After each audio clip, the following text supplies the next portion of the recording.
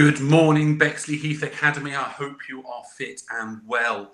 Uh, well, welcome to what is uh, week five and the last week of this term, and it hasn't that flown by already. I hope your week four assessments were okay. I hope they weren't too challenging, although with my teacher hat on, I certainly hope they were a little bit challenging uh, to keep your learning moving forward. Um, I am going to start with a really important message this morning this week, so from the 18th to the 24th of this week, it is the Mental Health Awareness Week 2020. This is actively supported by the Mental Health Foundation. They have a very, very good website I recommend you do check out. So, their idea, their basis upon uh, the whole treatment of mental health is all about um, prevention rather than cure. So, they have on their toolkits about how to identify your mental health and how to improve your well being. They look at working with young families, with people, with young people, even in the workplace, people in later life, identifying where inequality of support is happening and trying to change that balance. Also, trying to influence policy within the government. So, as I say, check out their website and have a good look at it. It's really interesting. With their focus on prevention, we're going to link this in to uh, the Mental Health Awareness Week, and the key focus is kindness. And I'm hoping you can see the link there how kindness can support the prevention of someone's mental health or even support your own. It's quite commonly said kindness, it costs nothing, but it means everything. In a time of such uncertainty, the ones that we have lived through, I'm confident you have, had a moment of doubt, a moment of consideration, of thought where you're concerned about where you're going, where it's going to go forward from here. And I think kindness can go a long, long way in making a huge difference with this. Kindness is the act of doing something selfless for someone else, a genuine desire to make a positive difference in someone else's life. Now, these don't have to be huge acts. There can be a quiet word, a smile, a text during the day, a positive email to someone you're thinking of. They don't have to change the world around, they just have to nudge it in the right direction. Kindness is a two way street, though. The receiver of kindness feels happiness, has a feel good factor, can very, very quickly bring a smile to the face, and that can change someone's direction in their day. It can build friendship, support, and hope for that person. But the giver of kindness can feel more positive about themselves. It can brighten their own day. It can bring a smile to their face, and that's important. To start our Mental Health Awareness Week, we've got a calendar, a, a, an event every day where we're going to be supporting the idea of kindness and how it can be brought into your working week. So, the kind kindness we want to support today is to be kind to yourself. That is your start point. If you cannot be kind to yourself, you cannot be kind to others quite effectively. So, by the end of today, I would like you to grab a piece of paper, please. And on that piece of paper, write down one success you have had today. Now, what could that success be? It could be a great answer in a Google Classroom with your English teacher. It could be um, getting a cup of tea ready for the family. It could be sending an email or, a, or an e-card or a text to someone that's that's on your mind and just want to make them smile. So have a think about what that what was that success? What was that success for you today? What was that thing that made your day special for you? Write it down, hold on to it, and make sure it's there for you.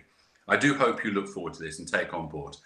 We will be sharing each calendar event as we go through the uh, week, and I look forward to seeing those develop with you. Right, I have rattled on enough. I'm now going to pass over to Miss Gibbs, who I know is very keen and ready to talk about some of the English work going forward this week. Miss Gibbs, over to you. Thank you, Mr. Walters. Um, last week, Key Stage 3 worked on the George Orwell competition. It's a writing competition um, across the whole country. Um, there were some fantastic entries. And this week, we are going to try and share as many with you as we can. So I wanted to start off today um, with an entry um, by Louis, Louis Forsdyke in Year 7. It's um, very thought-provoking. So I'm going to read it to you now. And the theme along which they were writing was a future that we want. So bear that in mind as you listen. Let's first establish who are we? A group of people staring at screens, leaving hate comments, hoping someone cries over the contents. You call this society? This is just nonsense. Our brains are melting over an Apple Watch with all the money spent on products.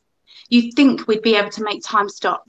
All these gadgets give us migraines, mental health problems, and reliability on microwaves. Pick up a book. Don't read an ebook. Talk to a real person, not a stranger while you shoot guns. Let's establish what makes you you. Are you known for playing a game? Do you actually know? Do people actually know you, not just your avatar? Do people see your real face, not just the guy with a virtual jaguar? Your brain is melting like a chocolate bar. Do you not realize what you're doing? Is something in your head charred? All your PlayStation 4 will give you is low self esteem, anxiety, sleep deprivation, and a big, wide emotional scar. You're probably one of the people who complain about others spending too much time on computers, but then go home and do the same thing. I'm starting to feel dizzy. I don't feel so good at all. Maybe I was wrong. We need electronics for lots of things, I guess. I can hear them calling me, beckoning me. They agree with me, slightly. I can feel myself being sucked in gradually. Simprisa Pero Symposia. I'm stuck in the middle of this media obsessed plaza. There's no escape. Thank you very much for your entries, Key Stage 3. I'm going to hand back to um, Miss Luther.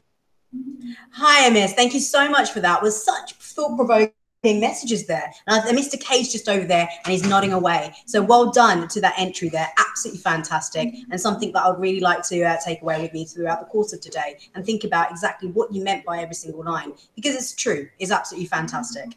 Now, the first thing I'm going to talk about is Thank You Teacher Day. The Thank You Teacher Day is on Wednesday. If it is that you haven't made a comment or left a comment or left some wonderful message for your teachers, please go ahead and do so. So if you go onto the main school website, there is a tab just up the top top uh, on the virtual learning dashboard. You just need to click on it and then you can add to our Padlet wall. So it's going to be a digital wall, almost like a digital card that goes out to your teachers so they can see the great things that you've said about them. Um, whether it's a teacher that's passed you in the corridor and smiles at you every single day, whether it's that man in Reprographics that kind of photocopies everything last minute for you. This is your opportunity to give them thanks uh, for the things that they've done. So they don't have to teach you. If it's me, and uh, if it's a wonderful message that I'm giving, okay, no, no, no, you don't need to do that. Um, not at all. But if you'd like to leave a message to the teachers or the staff that work here, please go ahead and do so using the Padlet. Or if you want to send in a video saying your thanks, we can compile all those videos together and then send them out to your teachers on Wednesday. So they've got something positive to look forward to. Now, the next part is the teacher shout outs. So you are going to be shouting out for your teachers about the great things that they've done over the last uh, seven days you've been doing so. But we're now going to give you some shout outs based on the wonderful things that you've been doing in their lessons. For the first shout out, this is from Miss uh, Wilton. That's for uh, Amy, uh, Ilhami, and uh, Govin in year seven. Now, what Mrs. said that you've been doing in science is absolutely fantastic work, participating in the lesson. You're very eager to learn and you're resilient through the most challenging tasks. So well done, guys. The next message is from Miss Hobbs. That's for Megan and Tyler in year 10. What she says about you in business is that you're conscientious, you're independent learners, and you're submitting excellent work currently. So, guys, continue with that. Absolutely fantastic. The next message is from Miss, uh, uh, let me have a look, Shelby, there we go, or Selby, I should say. That's for Rebecca in sixth form. Now, in maths, you're showing excellent resilience and effort, so carry on with that. Next or last message is for Aaliyah in years uh, in sixth form. I haven't got a year group, but sixth form. In art, what they've noticed, and that's the whole of the sixth form team, is that you're working as an artist. You're really displaying your creativity, and you are truly developing into a wonderful artist. So well done, and continue with that. We look forward to seeing those masterpieces in the National Gallery at Tate Modern very soon. Now, next, guys, birthdays. Now, it wouldn't be a day without a birthday shout out, and there's two birthdays today. We've got Harry in year nine, happy 14th birthday. We've got Anthony in year 13, happy third uh, in year 13, happy 18th birthday. What wonderful birthdays, 18 and today, well done. But remember, we're not going to go out and party outside. The best party is a home party, two minutes, guys, all the craze. I keep saying about this uh, time and time again. Put in a song for two minutes, dance and party hard in your living room and stay safe, stay at home. If you are having a birthday cake, obviously you're blowing on the birthday cake, be hygienic, maybe not blow on it this year and just wave it out the candles and we'll be a lot safer that way. Now, guys, um, happy birthday. Like I said, enjoy those days uh, wonderfully. It might be difficult, the sun might be shining, but we are going to stay at home for that. The next message for me uh, to you is for the year 11 students that are watching right now. If it is that you haven't received a phone call from the SLT team with regards to sixth form, do not worry about that. We've had, I would say, quite an interesting week. The phone calls have lasted forever because we've wanted to have a really good conversation with our year 11 students about what they should be doing next. Now, remember, some of you have panicked me and, uh, and emailed me talking about the fact that all the any places left? You, as Bexleyheath Academy students, will get priority for those places before any external students do. So do not worry, either today or tomorrow you'll be getting that phone call. If it is that you've changed your phone number, please email me with the updated contact details so we can make sure that we call you and we find out exactly what it is that you want to do next year, even if it is that you want to go somewhere else. Hopefully you don't. Um, but in terms of subjects that you'd like to do next year. So do not worry. By the end of tomorrow, we'll, we'll have called everyone. However, if we haven't phoned you, just go ahead and send me your contact details via email so we can make sure that we can get that call to you as well. Now, last thing from myself, I know that I've had a little, very large segment, but I know that you're all excited to have me back on screen because I am the most popular um, person, as we know, uh, when it comes to SLT team. No shade on Mr. Waters or Mr. Uh, RGK, just over there um, because they're quite worried at this point in time.